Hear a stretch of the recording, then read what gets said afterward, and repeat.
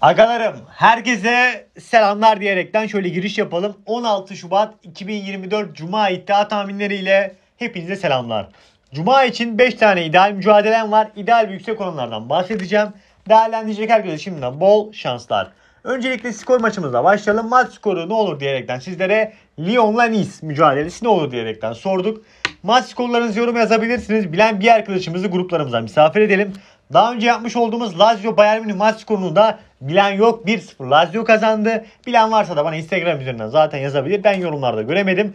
Instagram adresimiz Kangal Bey abi. Her türlü soru, görüş, öneri, gruplara gelmek isteyenler varsa da Instagram üzerinden benimle doğrudan iletişime geçebilirler. Onun yanında da neler yaptık diyerekten de başlayalım. Öncelikle Şampiyonlar Ligi için 13 ve 14 Şubat olarak 2 günlük bir video çekmiştik. Vermiş olduğumuz bütün tercihler ekranda. 13 Şubat'ta zaten 5 tane mücadele anlatmıştık. Hepsini içeri aldık. 14 Şubat'tan da 3 adet karşılaşmamız vardı. Counter mücadelesi vardı. KG varını aldık. PSG maçına maç sonu birini zaten bekliyordum. Öyle önermiştim. Geldi. Bir de ilk yarıdan en çok korneri Paris kullanır diye bekliyorduk. Öyle de oldu zaten. Lazio Bayern Münih maçına da valla yani içimden gelmeyerek iki verdik de burada yani Bayern Münih belki Şampiyonlar Ligi'nde açılır diyerekten de oynadı oynadı atamadı yapacak bir şey yok. Penaltı kırmızı kart diyerekten de Lazio maçı 1-0 kopardı. Bu şekilde YouTube raporumuz kazan sağlayan herkese tebrikler. En kötü günümüz böyle olsun ve devam edelim. Yüksek mislere baktığımız zaman dün iki adet yüksek misli yaptık ve misleri de attırdık. Paris mücadelesinde Paris'in olan yüksekti. Ben zaten galibiyetini bekliyordum ama biraz daha ideale gittim. Nasıl ideale gittim? Ev sahibi yarı kazanır yaparaktan da 3700 misli önerdim yüksek misli seviyesinde. Gecede NBA mücadelesi vardı. Orlando'nun mücadelesi vardı. Orlando'nun direkt galibiyetine 1.43 gibi bir oran vardı. 2800 misli de oraya önerdik. Orlando'nun da doğrudan galibiyetini bekliyorduk ki galip de gelmesini bildi. Dün iki adet yüksek mislimiz vardı. İkisi de içeri geldi. Bugün 3 tane var. Umarım hepsi içeri gelir diyerekten de devam ederiz. Cuma günü bu şekilde ve devam ettik. İdeal kuponumuz vardı bir adet. İdeal kuponumuzda Paris'in galibiyetini bekliyordum zaten. Bak ne yaptım biliyor musunuz mu? 4.5 altına 1 yaptım Paris'e 1.83. Günün kuponu olarak bunu verecek. Dedim ki iki oranla tamamlayalım yine. Adet bozulmasın. Bayern Münih'e de galibiyetini almadım. Dedim ki bir yarıyı alır. Beraberlik falan çıkar. Sürpriz olma ihtimali var maçta. Dedim ki bir yarıyı alır en azından öyle biz yırtarız yine kazanırız dedik. Tamamlama maçı olarak koydum. Oradan patladık. Bunun da bilgisini vereyim. Canlı olarak zaten gruplarımıza devam ediyoruz. Dün de aynı şekilde izlediğimiz maçlara canlımızı yaptık. Paramızı aldık, ekmeğimizi aldık diyerekten de devam edeyim. Ve Herkes Açık Telegram grubu var. Herkes Açık Telegram grubu da açıklama ve yorumlar kısmında mevcut. Dün de orada çok güzel işler yaptık. Mutlaka bu gruba da katılın arkadaşlar. Zaten ücretsizdir bu grupta. Özellikle yani ne bileyim e, değerlendiren varsa bir şekilde e, canlı oynayan varsa değerlendirebilir. Hatta şöyle ben göstermek istiyorum biraz ekrandan. Dün mesela basketboldan çok güzel ilerledik. 6'da 6 oldu. Fenerbahçe ilk yarı galibiyetine verdik. Geldi. Fenerbahçe'nin ilk yarıdan 4 fark atarını biz maç önü vermiştik. Geldi. Rasta'nın mücadelesi varsa deplasman 90.5 üst. Deplasman maçı kazanır. Petkin mücadelesi 3. çeyrek 36.5 üst. Fenerbahçe deplasman 76.5 üst. Nerede bu sinerjiler diyerekten de hepsini yeşilledik. O yüzden sizler de bu şekilde ücretsiz tercihlerden faydalanmak istiyorsanız da gruplarımıza misafir olabilirsiniz diyerekten başlayalım. Cuma günü olması kaynaklı maçlarda sürpriz ihtimaller çıkabiliyor.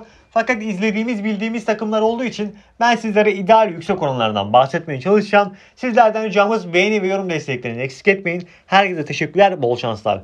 Kasımpaşa ile Fatih Karagümrük mücadelesi. Kasımpaşa'nın son mücadelesi Adana Demir maçındaydı. Hatırlayın 3-1 bitti. Gerçekten iyi oynadı. Ve şunu söyleyeyim. Yani kaleye, kaleye kaç tane isabetli şut var bilmiyorum ama çekmiş olduğu isabetli şutlar yani çekmiş olduğu şutlar diyeyim ben çok güzel yerlere gitti. Bu golleri de zaten ard arda 2 oldu 3 oldu. Adana Demir'de son dakika bizim varımız vardı. Bir de canlıdan 700 misli olaraktan da Adana'nın golü almıştım hatırlayan vardır. O şekilde kazanmasını bildik son dakikalarda 90'da gelen golle. Kısımpaşa iyi oynuyor. Fakat Karagümrük'te Emre Mor ve ya Eyserik bile Emre Mor ve Eyserik hücumda fark yaratıyor. Özellikle Emre Mor son oynanan mücadele galip gelen mücadelede maçın yıldızı olmasını bilmişti. Mücadele bir İstanbul karşılaşması. İstanbul derbisi olarak geçiyor mu bilmiyorum. Muhtemelen geçiyordur da. Tam emin değilim. Geçtim onu. Mücadelede ben Karagümrük tarafından da gol bekliyorum açıkçası. O yüzden karşılıklı gelecek goller bekliyorum. Açıkçası her iki takımda kim formda diye baktığımız zaman da Kasımpaşa bir adım, bir adım öne çıkıyor. Mücadele ideal bir KG var alabiliriz. Onun dışında şöyle düşünüyorum. 2-1 skora göre 2.5 üstünde bir olma ihtimali nedir diyerekten de onun da oranı 2.93 gibi oranı var zaten. Neden olmasın diyelim. 2-1 bir skor beklentim var. Hannover'le Greuther mücadelesi. Özellikle bu mücadele bir, bir takım e, üstünde bir takım altında. Öyle söyleyeyim.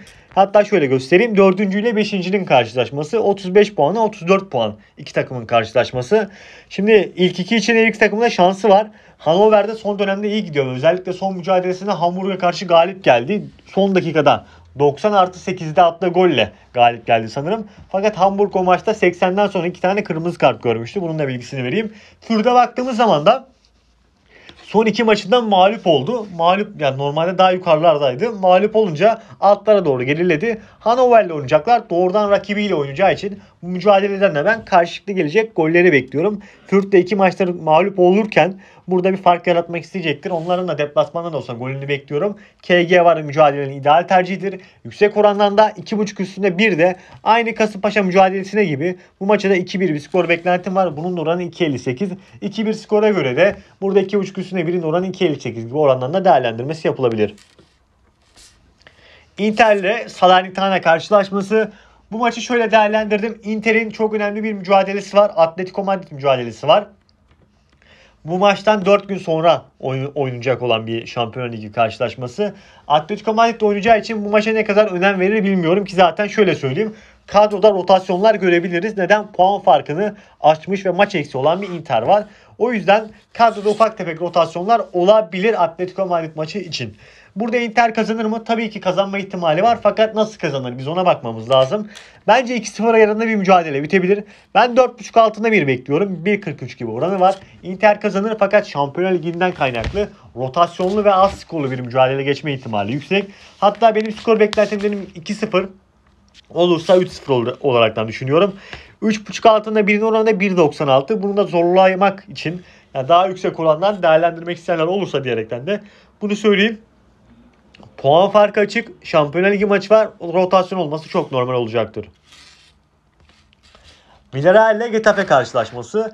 Villarreal'e baktığımız zaman da ben şunu söyleyeyim. Son iki Villarreal maçını da izleme, izledim. Cadiz'le oynadığı 0-0'lık bir mücadele vardı. Kendi evindeydi. Çok iyi oynadı.